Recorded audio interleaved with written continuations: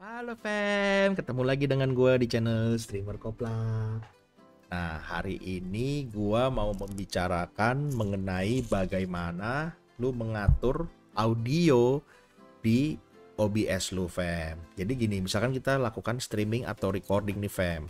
Kan sumber audionya banyak tuh. Ada suara gamenya, ada suara kita, ada suara party chat ya dengan kita ngobrol dengan teman kita. Oh, tembak tuh tolong tuh, woi kelihatan tuh jangan liatin aja itu tembak itu orang lagi nungging. Nah, itu kita misalnya mau rekam nih itu kan kalau gue pakai Discord karena menurut gue paling bagus dan uh, sound prosesornya Discord itu canggih jadi noise suppressionnya apa dan praktis tinggal klik klik klik klik aja Discord. Nah, yang keempat ini, misalkan kita suaranya ini kita mau menambahkan unsur musik. Jadi misalkan kita mau main game sambil dengar musik, tapi kita nggak mau audiens kita atau musik itu kerekam ke recorder record hasil recordingan kita atau kerekam ke suara streamingan kita.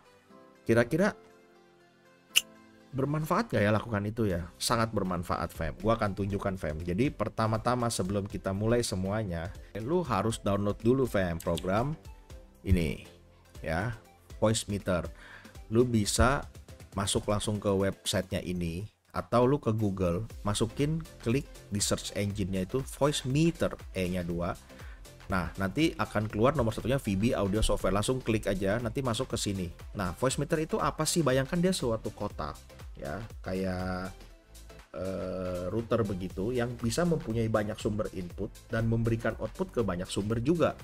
Nah, yang membedakan antara voice meter, banana, dan potato di sini adalah jumlah input dan outputnya, fam. Tapi yang potato yang paling banyak bayar. Jadi lu, lu download yang banana aja yang paling maksimal dan gratis.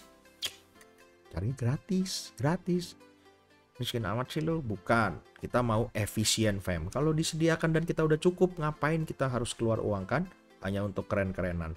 Tapi kalau misalkan lu ngerasa perlu, ya beli. Kalau lu ngerasa, wah input gua kurang cuma 3, gua butuh 20, ya beli Nah, banyak apa? Input apaan?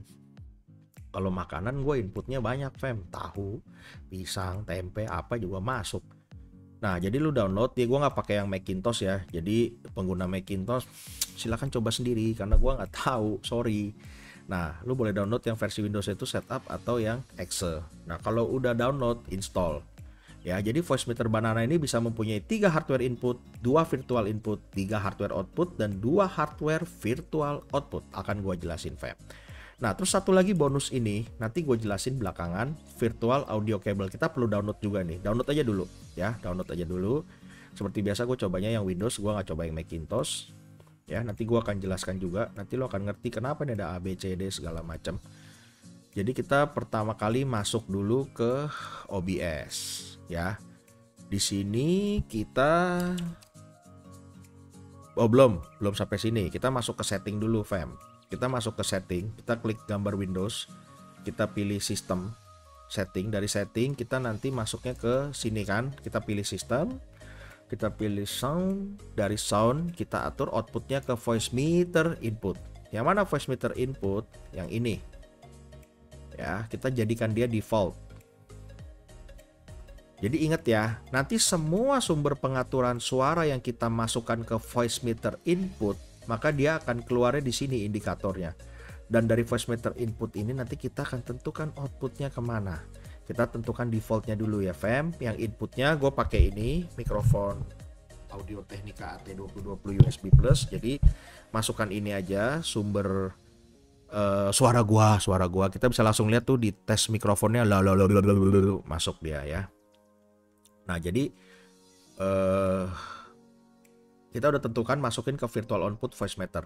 Outputnya yang ke satu kita pilih ini dia ada ada tiga sound pro ada empat sound processing ya. Tapi gue pilih WDM aja. Kayaknya sih singkatan Windows Digital Media. Jadi kita pilih ini, kita pilih yang speaker.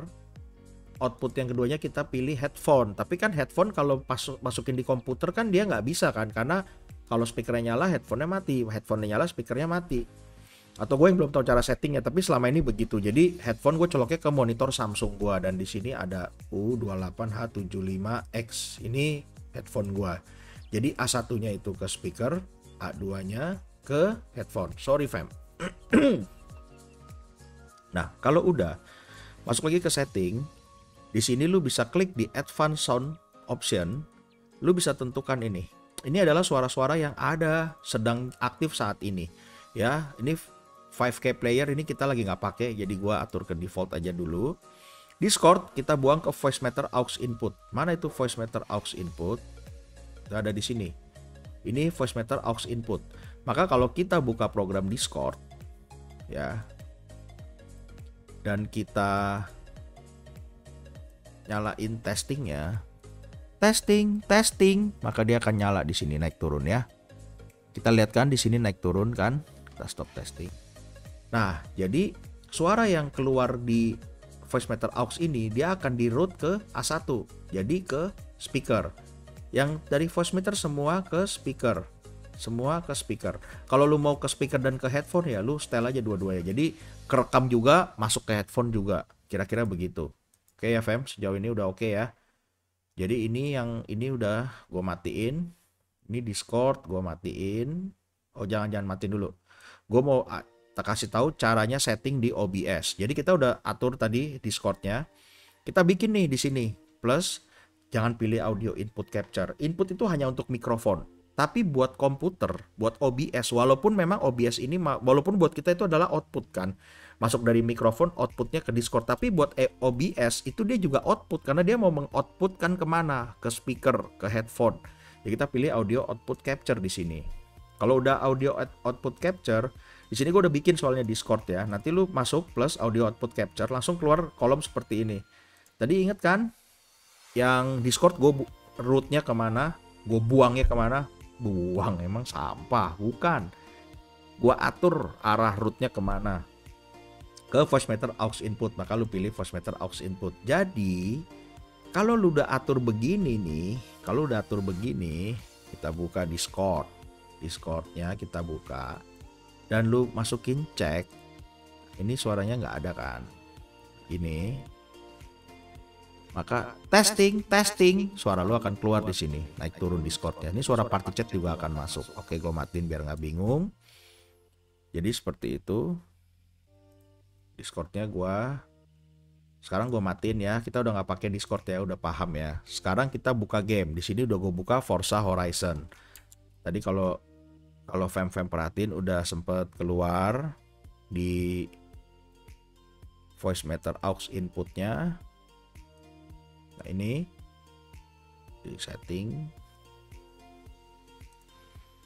nah ini Forza Horizon 5 gue buangnya ke voice meter input ke sini kan Nah, berarti kalau misalkan gua klik di gamenya, lu akan denger fam suara. Oh, sebelumnya kita atur di OBS dulu ya. Di OBS-nya sama ya. Kita bikin audio output capture. Lalu kita masukkan nih game nih, suara game. Ini dari audio output capture asalnya. Nah, device-nya kita pilih voice meter input ya. Jadi nanti ketika kita jadi di jadi kita jadi yang yang lewat voice meter input semua ke sini kan nggak cuma game doang kan yang lewat voice meter input kan. Ada ya sekarang cuma game doang lah ya. Tapi sebetulnya yang lain enggak nih 5K player default default defaultnya kan udah gua atur voice meter input kan. Jadi kalau lu buka Skype nih dia voice meter input. Lalu lu buka Steam voice meter input, lu buka 5K player nih voice meter input. Nah, kalau misalnya lu mau bedain supaya jangan di voice meter input semua dan nggak pengeng di satu kuping semua. Ntar cara yang berikutnya yang tadi gue suruh lu download VB audio cable. Sekarang kita masuk dulu nih. Gue mau kasih lihat contoh ini ya. Jadi Forza Horizon-nya ini gamenya udah gue atur ke voice meter input. Sekarang gue nyalain gamenya. Nah ini gamenya. Suaranya nggak bisa dengar. Gue klik dulu di gamenya. dengarkan suaranya kan? Nah kenapa suaranya kecil? Karena gue tadi atur di voice meternya kecil. Maka kalau lu mau denger suaranya gede lu gedein lah di sini. Klik lagi gamenya. Sorry fam. Ini gede nih fam.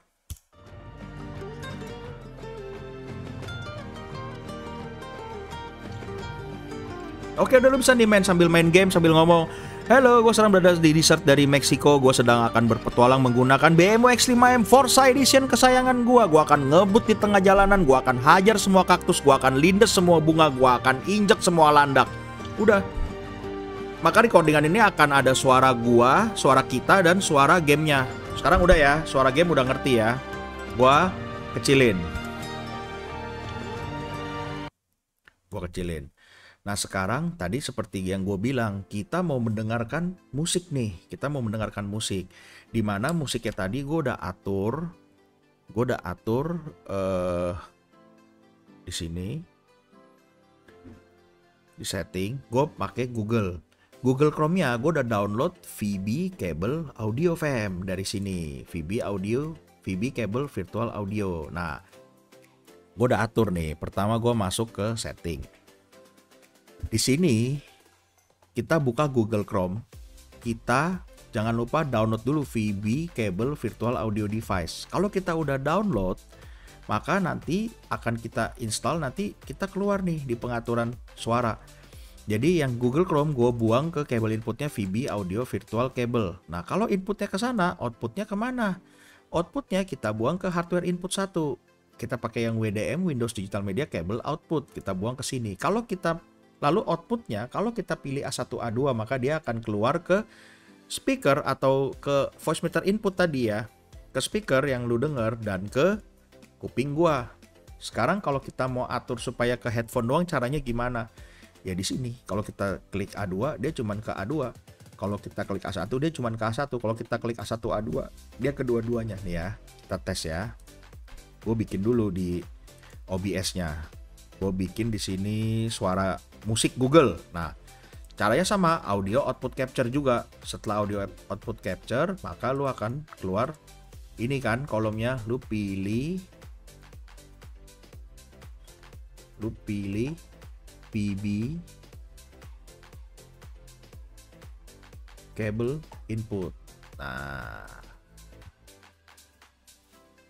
Eh sorry sorry. Eh bener ya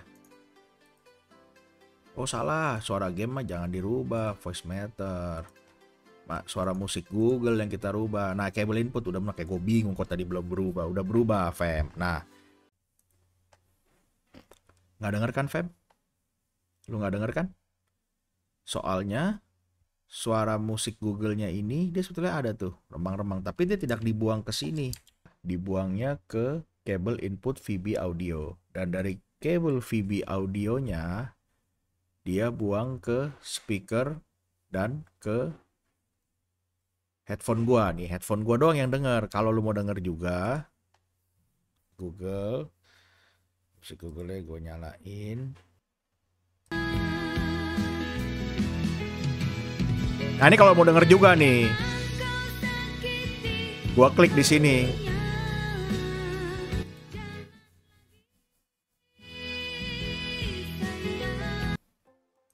Oke Fem, jadi gitulah kalau misalkan suara audio itu lu mau denger dan lu nggak denger, itu kita bisa atur semua dengan perfect dari program voice meter ini dan program OBS ini Fem. Jadi lu mau streamingan recording dengan suara macam apa pun lu udah bisa hasilkan Fem.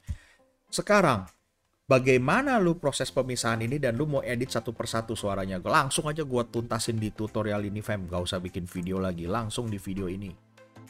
Oke, jadi kita uh, setelah kita klik gambar rodanya, jadi kita kalau mau edit satu persatu nih suaranya tuh ngeditnya bagaimana kita masuk ke gambar roda, advanced audio properties nanti keluar seperti ini kita lihat angka menurunnya. Di sini kita nomor satu kita centang semua aja, ada audio input capture, suara gua, ada Discord, party chat, ada musik Google, ada suara game.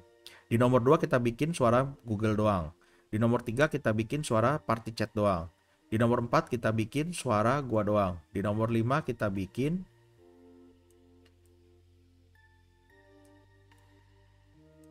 nggak ada. Yang nomor lima kita bikin suara game doang. Jadi nanti pada saat video ini udah direkam, udah ada hasilnya, maka nanti hasilnya itu akan berupa file seperti ini, fam. Ya, ada berupa file seperti ini. Lu buka misalnya gue edit pakai Filmora. Di sini kita import media. Di sini ada contoh video yang udah gue bikin nih ya. Ini semua rata-rata gue bikin gue pakai pemisahan audio. Ya, misalnya ini deh isi bar Forza Horizon 5 Wow.